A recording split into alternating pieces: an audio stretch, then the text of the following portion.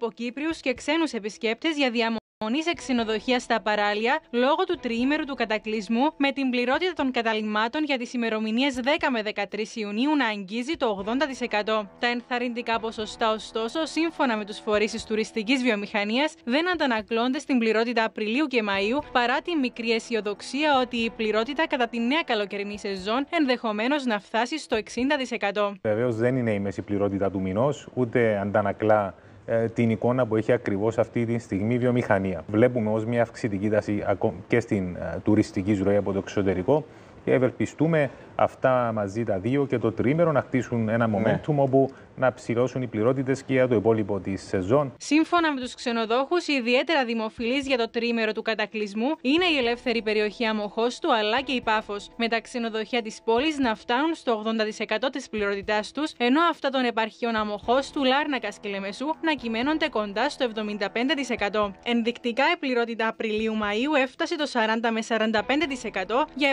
επαρχίε Αμοχώστου, Λάρνακας και Λεμεσού, με την Πάφο να κατέχει την πρωτιά με πληρότητα 55 με 60%. Δεν σώζεται η χρονιά και η τουριστική σεζόν με δύο μέρες, ε, μία με δύο νύχτες διανύχτερεύσεων. Παραμένει μια δύσκολη χρονιά ε, με πολλές προκλήσεις ε, χωρίς να μπορούμε να προβλέψουμε τίποτα. Όπως ήταν ωστόσο αναμενόμενο, οι τιμές διαμονής για το τρίμερο του κατακλυσμού λόγω της αυξημένης ζήτησης σημειώνουν σημαντική αύξηση με τους αρμόδιους να δικαιολογούν λόγω του τεράστιου κόστους που προκαλούν οι πληθωριστικές πιέσεις και ο πόλεμος στην Ουκρανία. Ολιστική λύση στην διαχείριση νερού δρομολογείται για την πόλη της Πάφου. Πρόκειται για το μεγαλύτερο